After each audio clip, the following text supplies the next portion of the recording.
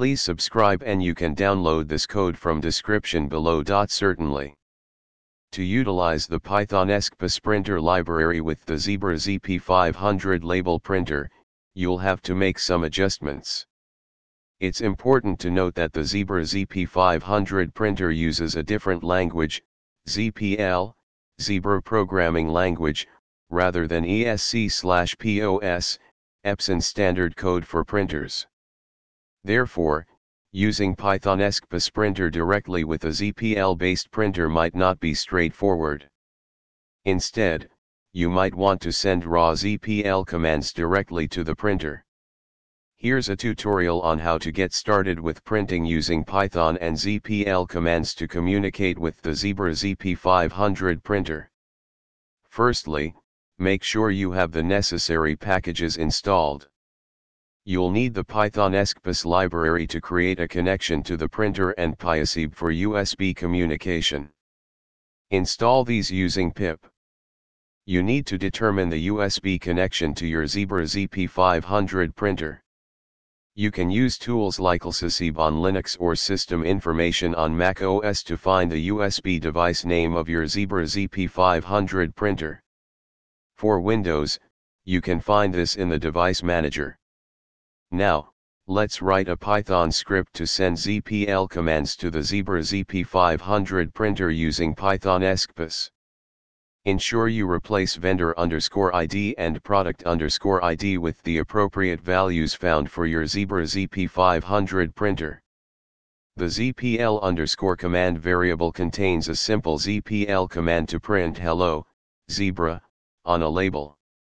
This script sends the ZPL command to the Zebra ZP500 printer through USB.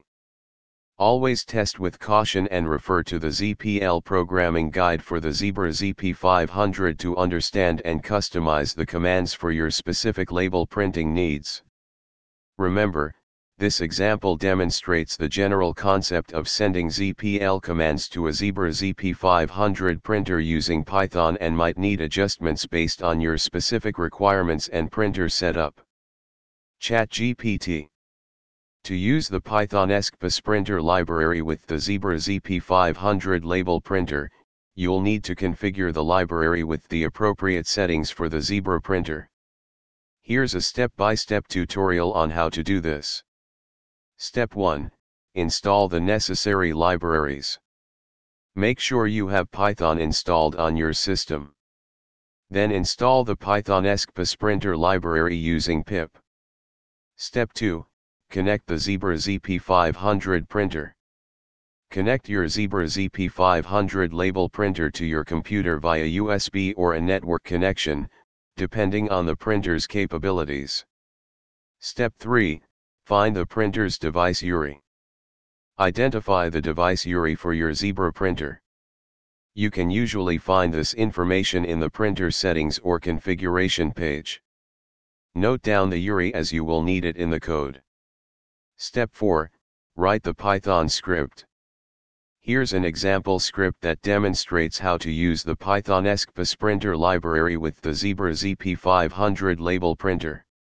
Make sure to replace your underscore device underscore URI underscore here with the actual device URI of your Zebra printer. Step 5, run the Python script. Save the script in a file with a .py extension, and run the script using the following command.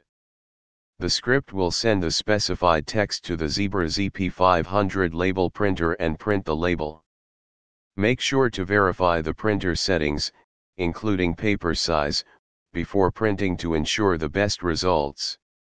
ChatGPT